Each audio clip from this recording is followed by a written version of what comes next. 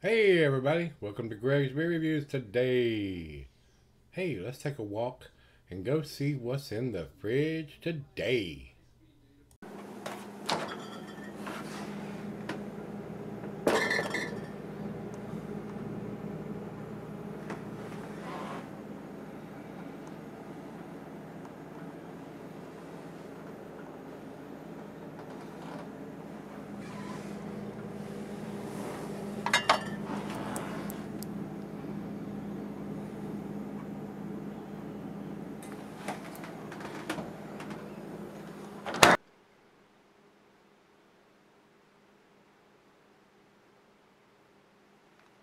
Hello everybody, welcome to Greg's Beer Reviews today. Thanks a bunch for stopping by, I do appreciate it.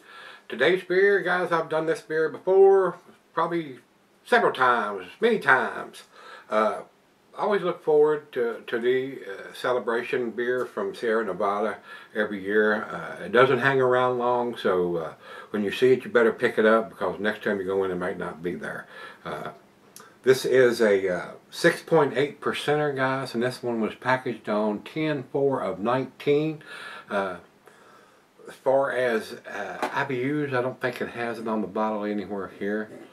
Uh, but it is a fresh hop IPA, guys. When I first started getting my hands on these guys, it, it blew my hair back and my socks off. Uh, over the last couple years, not so much anymore. It all depends on where your palate is, what you'd like to drink, and what you're used to drinking, basically.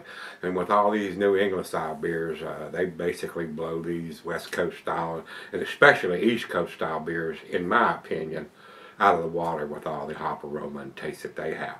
But it's still a well-made beer, guys. Uh, it just uh, uh doesn't live up to uh, my expectations of what I want to drink, but it is what it is. I mean, they're not claiming it to be anything other than a wet hop ale, and uh, these guys are out in California, uh, so uh, a decent West Coast style IPA, in my humble opinion.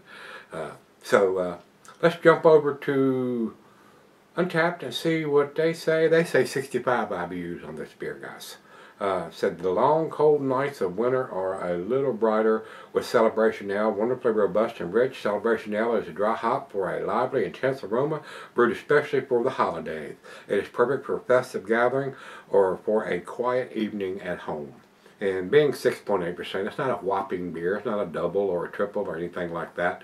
It's a fairly tasty, easy drinking West Coast style beer. And it's a wet hop beer. That means they use fresh hops uh, whole cone hops, basically, uh, instead of pellets or lupulin powder or anything like that. So, uh, but I'm not as blown away by it with all the other styles, especially New England style beers that I've been doing over the last couple of years. It just, uh, uh, it just doesn't get up to that aspect. But like again, they're not claiming it to be. But so, let's see what the 2019 edition brings to the table. Nice uh, hiss on that, a little bit of smoke. And into the glass we go. And I usually try to pick this beer up every year, guys. Uh, it is a decent beer. But like I said, it doesn't hang around long. If you don't pick it up in the first couple weeks you see it, uh, it won't be there. And I actually had to get this up at, uh, at the Blacksburg Kroger's when I was up there because Kroger's down here don't carry it. Anyway, little over finger head on that pour. It does have a slight haze to it, uh, uh, but I can see light right through the uh, the bottom of the glass here. Very nice, rich amber color. Nice head. To the nose we go. A little bit of citrusy pine there, guys. Uh, I'm getting a little bit of malt to it. Uh, uh, a nice, real, rounded beer. Not too much hop, not too much malt. Uh, a very easy drinking IPA. So, uh, smells good. Let's dive in. Cheers, everybody.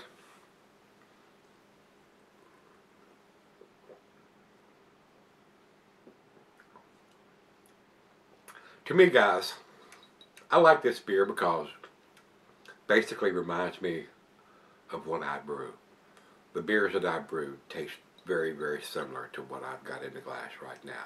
I don't do any kind of New England style uh, whirlpooling and that big super hazy orange juice looking beers. I haven't been able to do do anything like that. Uh, I don't think I have the the know-how or the process to do that. So my beers sometimes uh, are even a little clearer than this. I don't filter them, but uh, I use a, a, secondary fermentation process for most of the stuff drops out of it, either in the primary or the secondary. But to me, it reminds me of what I brew here at home. So that's probably why I still like it.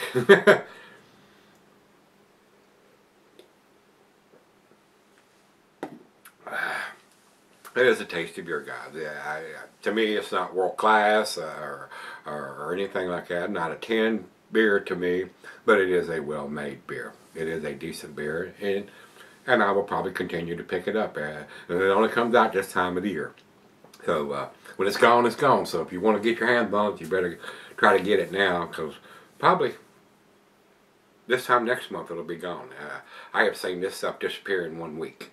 You go in, yeah, we got celebration in, and get it, and you go back the next week, now we're out of it now.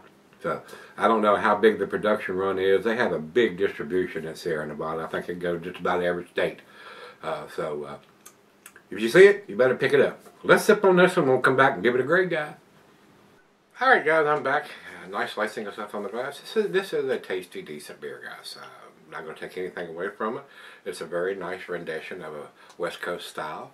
It is a little more maltier than I like. I think mine that I produce are a little hoppier because I hop it a little bit more. I like that hoppy taste and aroma.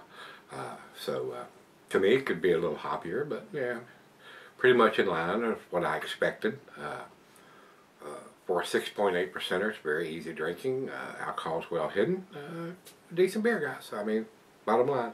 And it should be available just about everywhere depending on what store you're going to. Like I said, a local Kroger store around here doesn't carry it, so I had to go somewhere else to get it. So uh, it's not available in, uh, it's probably available in most states, but uh, don't depending on the size of your store, uh, it may determine whether they're going to stock it or not. So if you found it you like a, a nice uh, fresh hop IPA, yeah, it's decent. So, final chuck.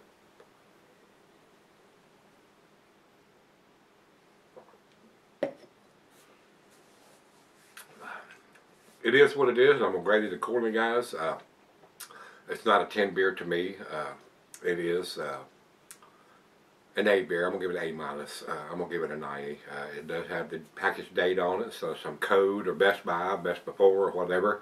It does have the ABV on it, so very easy to read. Plus it has 2019 edition on the upper label.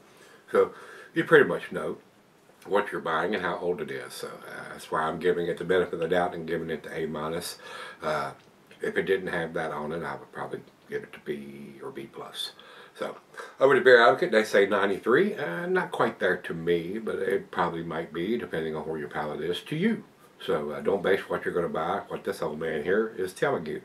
Uh, buy what you want, what you like. Uh, so with that being said, Let's jump over to Untappd. Untappd has it at 3.74, which is one notch uh, uh, from their B plus. Uh, that is in the up, the very upper end of their B category. I think it's a little better than that. But uh, again, these guys that post comments and stuff on these sites, uh, sometimes they're not impressed. Uh, so, and like I said, there are probably tastier West Coast styles out there but this is a mass-produced, because uh, uh, Sierra Nevada is a fairly big brewery, and uh, should be readily available most places. So, if you've had the 2019 edition of uh, Celebration uh, from Sierra Nevada, let me know what you think. Till we meet again, let's go see what's in the bridge.